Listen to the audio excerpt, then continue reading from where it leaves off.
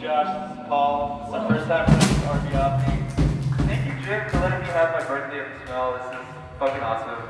Thanks everybody for being here.